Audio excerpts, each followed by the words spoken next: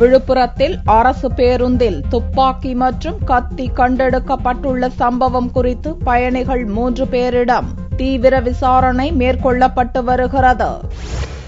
ஈரோட்டிலிருந்து சென்னைக்கு அரசு பேருந்து ஒன்று வந்து கொண்டிருந்தது. விழுப்புரம் அருகே பேருந்து வந்தபோது சென்னையைச் சேர்ந்த பயணி நாராயணன் தான் வைத்திருந்த ஒன்பதாயிரம் ரூபாயை காணவில்லை என கூச்சலிட்டுள்ளார் இதனால் ஓட்டுநர் விழுப்புரம் மேற்கு காவல் நிலையத்திற்கு பேருந்தை கொண்டு சென்று புகார் செய்தார். அப்போது பேருந்தை போலீசார் சோதனை செய்தபோது ஒரு பையில் துப்பாக்கி கத்தி மற்றும் இஸ்லாமியர்கள் தலையில் அணியும் தொப்பி ஒன்று இருந்தது கண்டுபிடிக்கப்பட்டது. இதைத் தொடர்ந்து போலீசார் பயணிகள் முப்பத்தாறு பேரிடமும் விசாரணை நடத்தியதில் அந்த பை யாருடையது என்பது குறித்து தகவல் கிடைக்கவில்லை.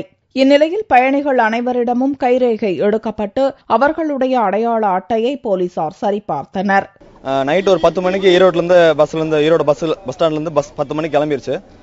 பட் ஒரு ரெண்டு ரெண்டே காலுக்கு கரெக்டாக விழுப்புரம் கிராஸ் ஆகும்போது பஸ்ஸில் வந்து சக பயணி ஒருத்தர் அவனோட பணம் மிஸ் ஆகி போச்சுன்னு சொல்லி கண்டக்டர் கம்ப்ளைண்ட் பண்ணாரு.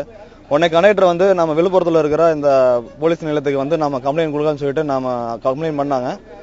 போலீஸ் அதிகாரிகள் அது சம்மந்தமாக வந்து பஸ்ஸில் ஏறி சோதனை பண்ணும்போது பார்த்தீங்கன்னா கத்தி துப்பாக்கி அந்த மாதிரி விஷயங்கள்லாம் வந்து கிடைச்சிருக்கு.